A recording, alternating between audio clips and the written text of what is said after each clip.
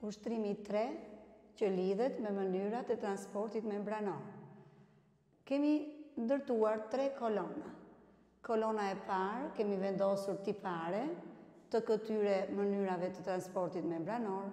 Në kolonën e dytë kemi vendosur një mënyrë të transportit pasiv dhe në kolonën e tretë një mënyrë të transportit aktiv.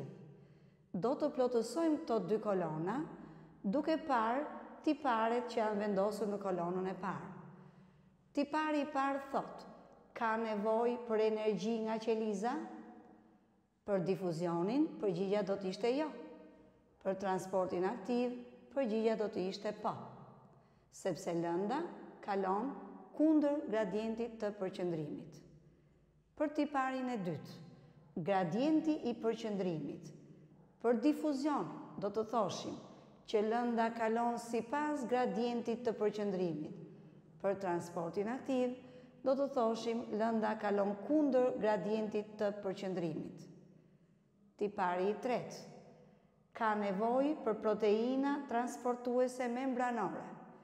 Për tiparin e parë, difuzioni do të ishte jo.